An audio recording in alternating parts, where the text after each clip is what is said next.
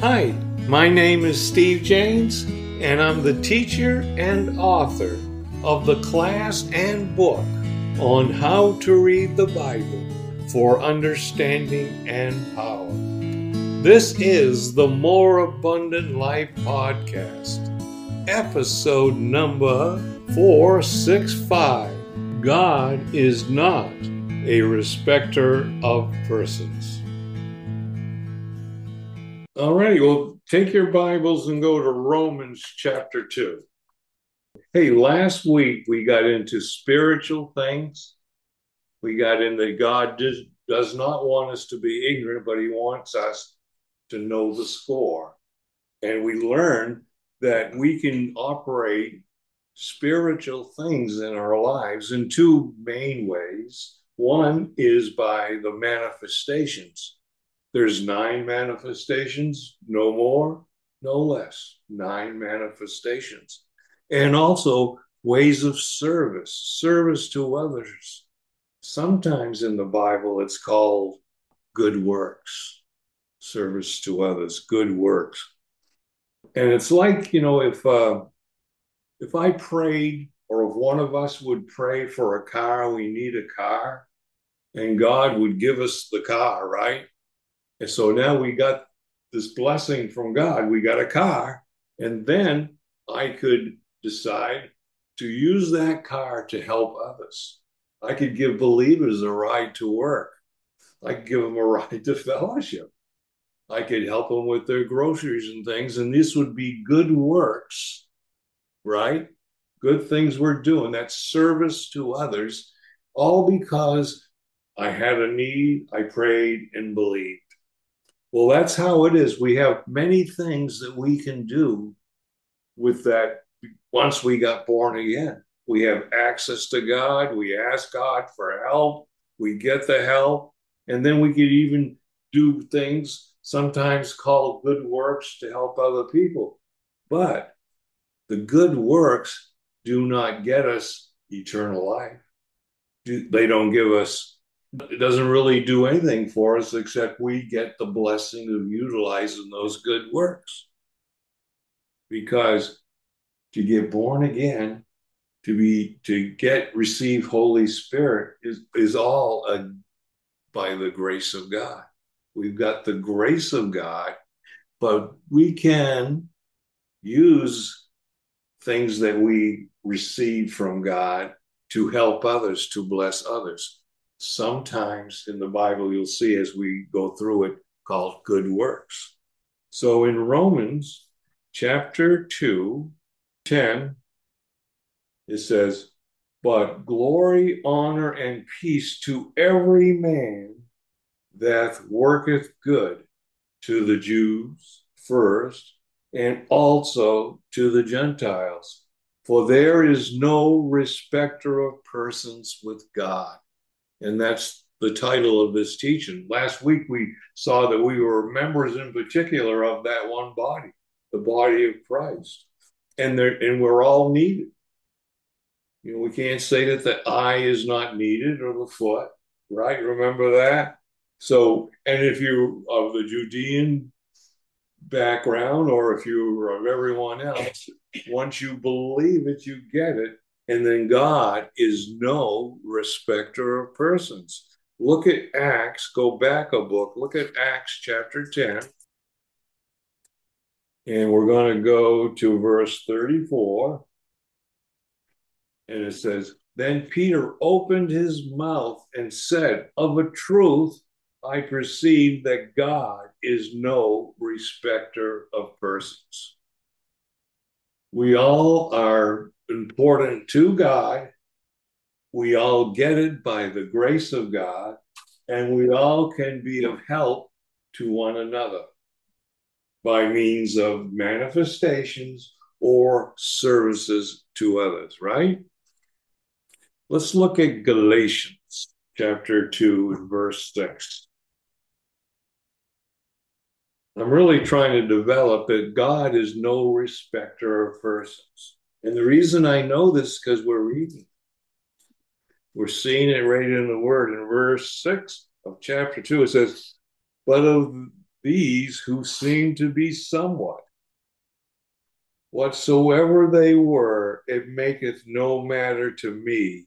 God accepts no man's person. See, we're all equal in God's eyes. For they who seem to be somewhat, Paul goes on, in conference added nothing to me. Just because you go, hey, I'm Dr. So and so, or Reverend so and so, or I run this ministry, or whatever, makes no difference to God. There is no hierarchy. Jesus Christ is the head of the church, and we are members in particular. We all have our own long suits, our own likes and dislikes, and we're all important to God. And that's what I'm going to show you here this morning. And I think I want you to see this God doesn't look at anyone's person, but what he looks at is the heart and believing. That's what he looks at. Two things heart. God always looks on our hearts. He knows what we are like, what we want, and what we're doing, and believe it. Because if we believe the word, we get the results of that believing. And if we don't believe the word, we get the results of that unbelief. So that's why we spend time looking at God's word so we can see the word and do the word. Look at Romans chapter 10. And we're going to see how important the heart is. In verse 8 is where I want to start. And it says, But what saith it? The word is nigh thee, even in thy mouth and in thy what? heart. God looks at the heart. That is the word of believing. See, believing, once again, those two things are very important in a believer's life, which we preach. In other words, Paul was preaching, others have preached. It's written in God's word. We believe the word, we will receive the promises of the word. And verse 9 says, that if thou shalt confess with thy mouth the Lord Jesus. You know what confess means? Simply, it means say it. Say it. Say it. Confess with thy mouth the Lord Jesus, and shall believe in thine heart that God has raised him from the dead, thou shalt be saved, be made whole. This verse and the, the ones following it are so vitally important to believers that we confess that Jesus Christ is Lord. Why? Because of all that he did for us, how he laid down his life for us. And because he did that, God highly exalted him and made him head of the church. He's our Lord. So we confess him as Lord in our lives, right? Shall believe in thine heart that God raised him from the dead. That's what we have to believe. Thou shalt be saved. For with the heart man believeth unto righteousness, and with the mouth confession is made unto salvation. Once we've done that, we've got it. It's by grace. There's no works that anyone needs to do to, to receive favor from God. God has already favored us in Christ Jesus because what of Jesus Christ did. And there's nobody better than anyone else. Nobody's better than anyone else. I'm going to read some more of this chapter because it's a good chapter. For the scripture saith, Whosoever believeth on him shall not be ashamed we're going to be blessed with the results of who we are and what we have in Christ. It's pretty neat. And verse 11 says, For there is no difference between the Jew and the Greek, for the same Lord over all is rich unto some of the people. Well, the people who go where I fellowship, right? All that call upon you. See that that's what I'm really trying to do show here. There is no hierarchy. We just have different functions, different things that we do. That's all. And everything that we do is good because that's what God gave us to do. Verse 13 says, For whosoever shall call upon the name of the Lord shall be saved. If you live in the right countries. No, nothing. No, there's no buts. Whoever confesses that Jesus Christ is Lord, you got it. It's pretty neat. Let's jump down to verse 17. So then, faith or believing cometh by hearing, and hearing by the word of God. We need the Bible. We read the Bible, we study it, and then we go, all right, I can get born again. Getting born again, in a way, is one of the easiest things you can do in your life. You hear the word, you go, yeah, I believe Jesus did that. I believe it. Yeah, do you believe God raised him from the dead? Well, yeah, I can believe that. And then you get born again. It's the greatest thing, getting born again. Let's go to Romans chapter 12, just a page away in my Bible. And I'm going to start in verse 3. For I say, through the grace given to me, we all got the grace, by the way once you're born again. It's by grace, right? The grace given unto me to every man that is among you, not to think of himself more highly than he ought to think, but to think soberly, according as God has dealt to every man the measure of faith or belief. We we have the same opportunity to believe the same things because we have the same word of God. And we can believe it and God says don't think too highly of yourself. Well I'm the leader. This is my church. This is my group. No don't think of yourself too highly. And so we don't do that. We humbly go before God in our prayer life and other things. Then verse 4 says, For as we have many members in one body, and we looked at that last week in detail, right?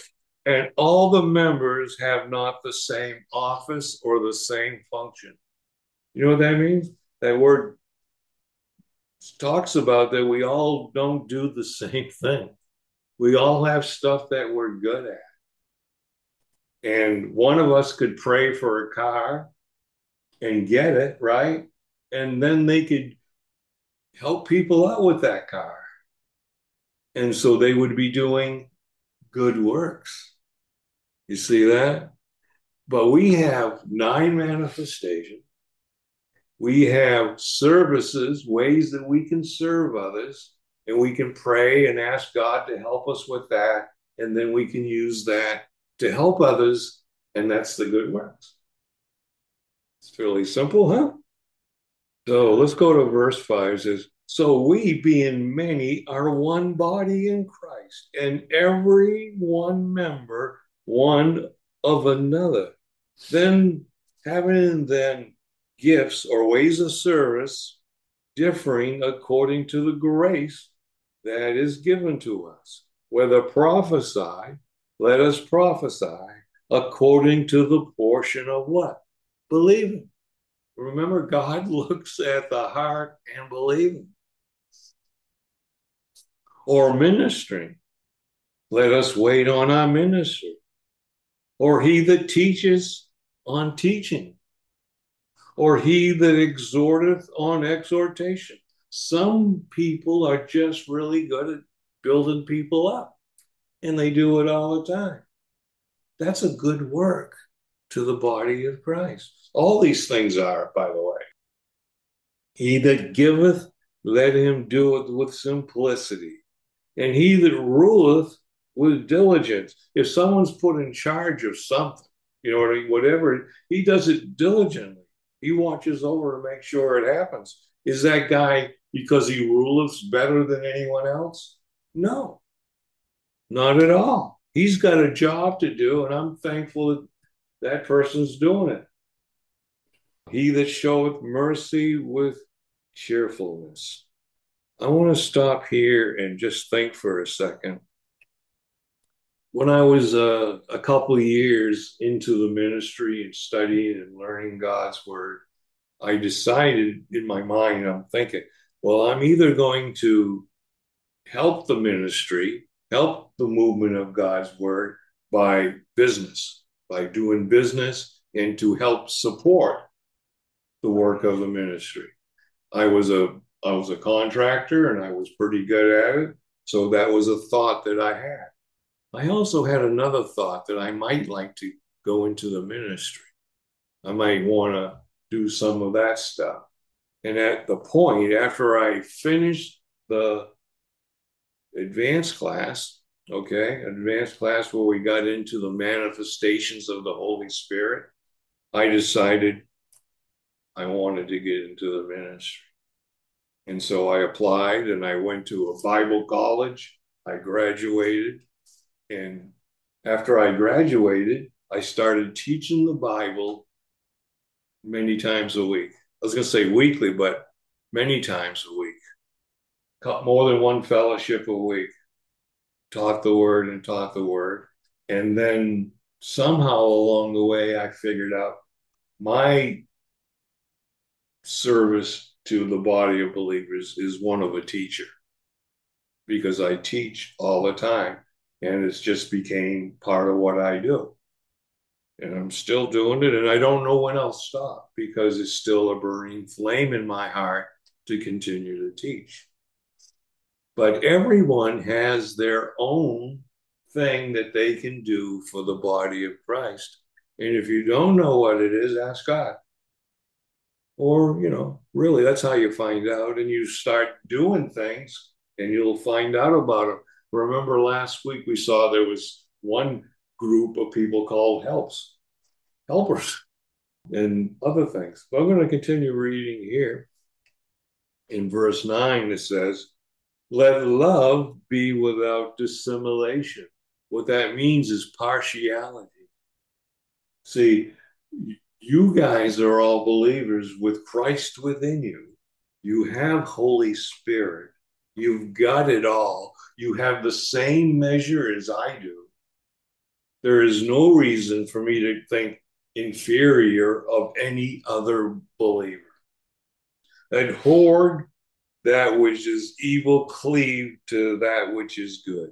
Be kindly affectionate one to another so whenever I see someone who I know is born again, that he's a Christian, I have this affection for him. And I don't say, well, here's one layer and here's another layer. No, anyone who's born again has got it with brotherly love and honor, preferring one another. In other words, I'd rather hang out with the believers than the unbelievers who don't love God and don't think about serving others or or anything else. You know what I mean? I'd rather hang out with believers. Verse 11 says, Not slothful in business, fervent in the spirit, serving the Lord, rejoicing in hope, patient in tribulation, continuing, instant in prayer. You know what instant means? We have instant coffee. It means like someone calls me up and says, Will you pray for this or that? I say, When I get time, I, no, I don't do that. I say, Okay, let's pray together. And some of you might have called me, and lots of times they'll say, Let's pray. Let's pray together. Something I do because it's in the Word. Distributing to the necessity of the saints. You know what they would call that in some places in God's word? Good works. Given to hospitality. You know what that is? You knock on my door, and I say, Come in. What do you need? What can I do for you? Are you hungry? You need something to drink? Need to, you know, what can I do? Hosp- you know, we all know what it means to be hospitable to people, right? Well, that's what we are to one another. Someone calls and says, Hey, can you take care of this or help me with this or that? If I can do it, I do it. If I'm in the middle of something, I got to figure out which is the most important thing to do, but it's all to, to be inhospitable. Come on in and sit down. No one has ever came here and has said to me, Steve, can I hang out here for a while? And I said, no. I'm watching the ball game. I never say that because it talks about it here in the word. Bless them which persecute you, and bless and curse not. How can I have a mindset that I'll bless those that curse me? And a believer, someone who's got Christ within them, needs something, and I'm not him. Does that make any sense? It doesn't. Come on in. Well, what if they belong to another group than ours? Who cares? If they come and, and we can help them, we help them. Simple as that. If they're born again, they have Holy Spirit, man, they're just like us. Let's go somewhere else in the Bible. Let's go to Romans chapter 5. For the life of me, I do not know why believers would put another group of believers in another position less than ours. I don't know why they do that. If they don't want a fellowship with us, that's another story. Well, let's just see what it says here in chapter 5, verse 1. It says, Therefore, being justified by faith or believing, okay? We have peace with God through our Lord Jesus Christ. And that's not just us, it's all that do this.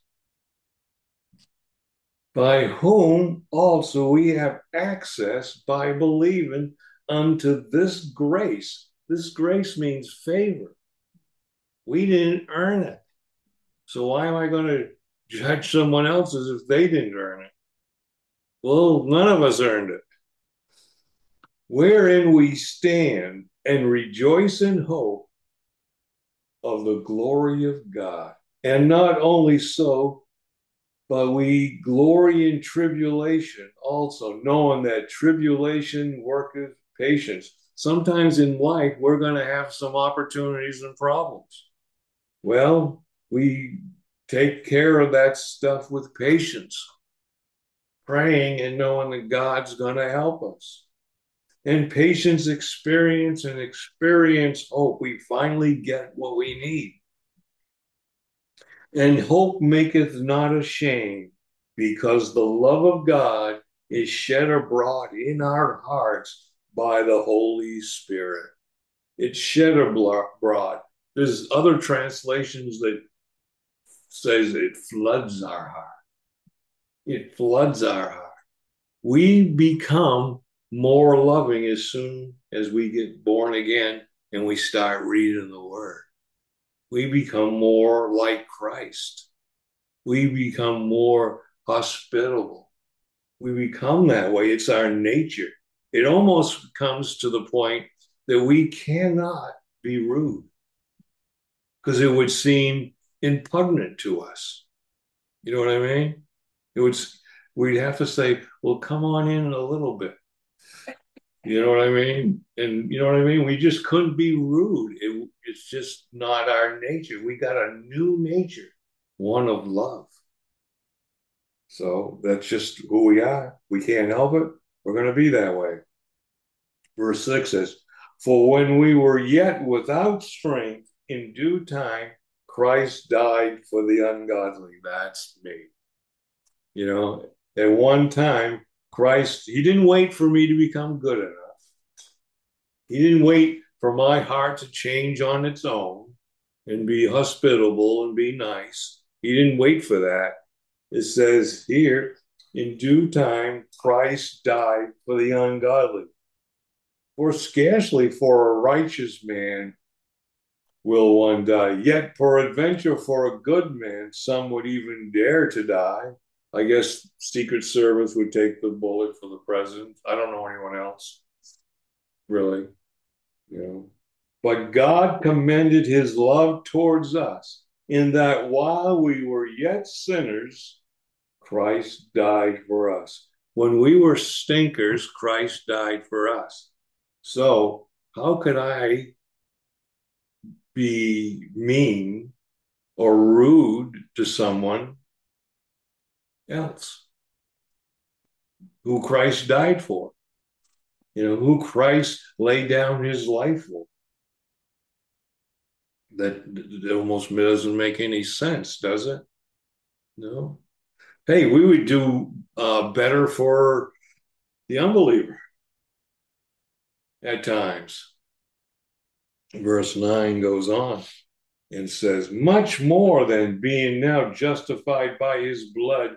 Whenever you see by his blood in Romans, particularly, it's talking about everything that Jesus Christ went through, not just his blood, his beatings, his sacrifice on the cross, his giving of his life.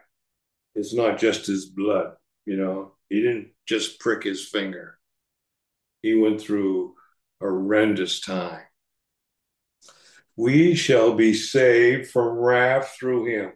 For if, when we were enemies, we were reconciled to God by the death of his Son, much more being reconciled, we shall be saved by his life, made whole by his life. Hey, when we were enemies, this is what God did for us. Now we need something. We go to God in prayer. What's He going to do for us? Well, this is what He did when we were enemies. Now that we're his sons, isn't he freely going to give us all things? That's what it says in Romans further down, right? Not only so, but we also joy in God through our Lord Jesus Christ, by whom we have received the atonement, or that we're now at one with, with Christ. We're joint heirs with Jesus Christ. We got it all. It's pretty cool. Go to Ephesians. Ephesians. Some people say it's the breakfast of champions. I agree. it's a good book to start with. There's a whole lots of good books in the Bible, though. Verse chapter two, verse one. We're going to read this. It says, "And you hath he quickened, who were dead in trespasses and sins. That's like we're the enemy. You know, we are dead in trespasses and sins. Wherein in times past we walked according to the course of this world, according to the prince of the power of the air, the spirit that now worketh in the children of disobedience. You know, those guys, among whom also we all, all of us, had our conversations in times past. In the lust of our flesh, fulfilling the desire of the flesh and of the mind, and were by nature the children of wrath, even as others. So those that aren't born again, that's what they were. But he's also mentioning here, we were right there with them. We were just like them. But I love this verse. I mean, this is the greatest thing. I got it underlined in my Bible. But God, but God, who is rich in mercy. In other words, He's holding back what we deserve, right? For His great love wherewith He loved us even when we were dead to, in sin, hath quickened us together with Christ. by grace we were saved. By grace, favor. We didn't earn it. Jesus Christ earned it for us. That's why we love him so much. That's why we teach it so much. And has raised us up together and made us to sit together in the heavenlies in Christ Jesus. That in the ages to come he might show his exceeding riches of his grace. As time goes on, in the next administrations, we're going to see the exceeding riches of his grace in his kindness towards us through Christ Jesus. For by grace ye are saved through believing.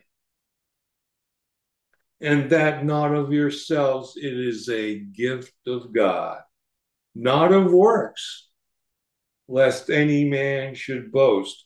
And uh, remember, I was saying service sometimes is called good works in the Bible, but that's not how you get saved. We get saved when we were enemies, when we were dead in trespasses and sins. That's why we should never look down on any other person who's in the same position. Verse 9 says, Not of works, lest any man should boast. I could say, you know, look at me. We can never say, Look at me. For we are his workmanship, created in Christ Jesus unto good works.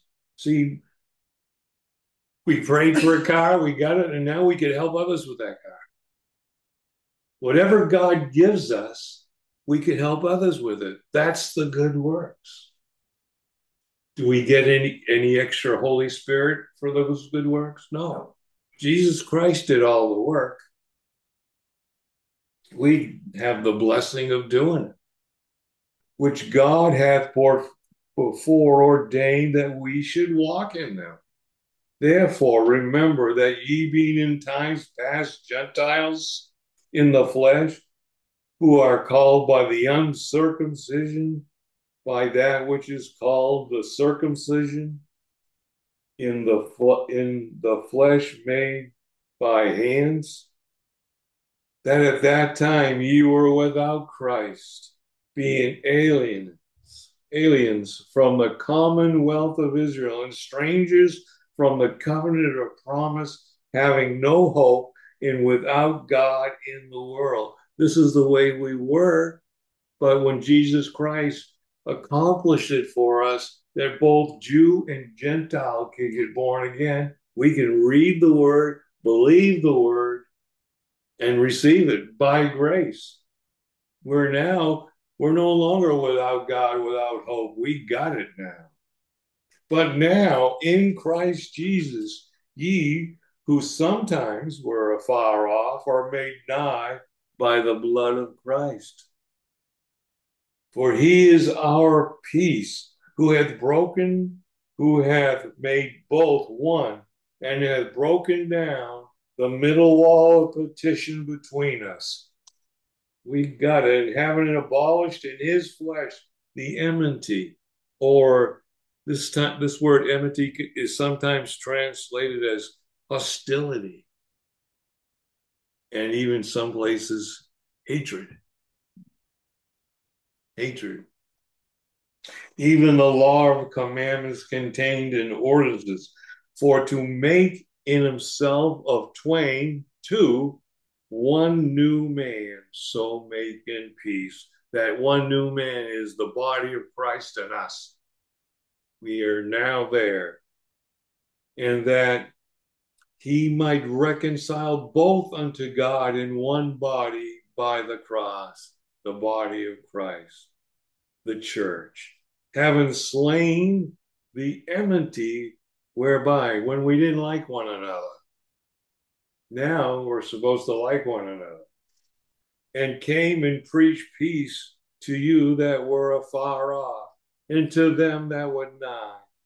For through him we both have access by one Spirit unto the Father. We have access to God We have wonderful access to God by the Spirit we, we receive when we're born again.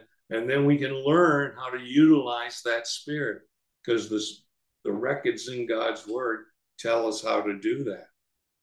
And that's what we're going to get into next in our fellowships here. We're going to we're going to manifest Holy Spirit. We're going to have power in life. Verse 19 is one of my favorite verses. It says, Now therefore ye are no more strangers and foreigners. Before we were. We were of this world who is run by the adversary. Now we are of the kingdom of God.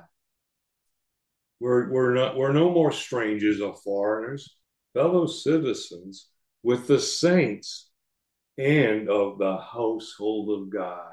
We now are part of the household of God and are built upon the foundation of the apostles and prophets, Jesus Christ Himself being the chief corner, in whom all the building fitly framed together groweth into a holy temple in the Lord.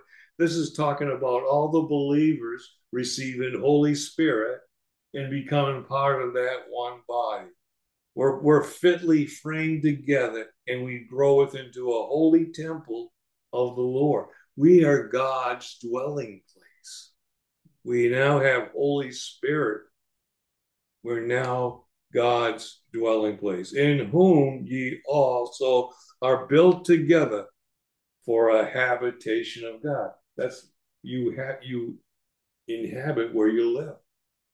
We are now part of that God.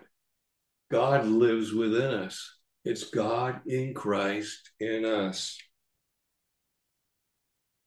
Of God through the Spirit. Through the Spirit. See, being members in particular, being those who have Holy Spirit within them, we are part of that one body, the family of God, and we're members in particular, and we all have something that we can do. And you know what it is, and if you don't, you can find out just by getting involved and asking God. It's like me at that time. One time I thought, well, I'm just going to be a businessman and support the ministry until thinking, you know what? I got to be part of the ministry itself. And decided to go get the training I needed to be able to do it. And I haven't stopped. And you were, we're all the same. There's no hierarchy. Any group that says there is, I, I don't know if I'd hang out with them. but we're all members in particular. The Bible says it, and it says it here that I read today, and it says it in more places. I have more scriptures I could have brought you to that say the same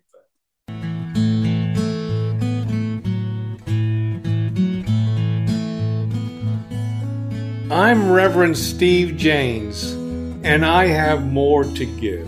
On my website, I have biblical research classes teachings, online biblical workshops, Christian podcast, and biblical studies books, all to help you to continue to learn how to read your Bible, freely avail yourself to as much or as little as you need to live the life that Jesus Christ came to make available to you the more abundant life. The link to the website is on the show notes below. Subscribe to the podcast to continue to hear great, accurate teachings that will help you to understand the Bible, which is God's Word. Please give me a good rating and tell others about this podcast. Until next time, may you have a more abundant life.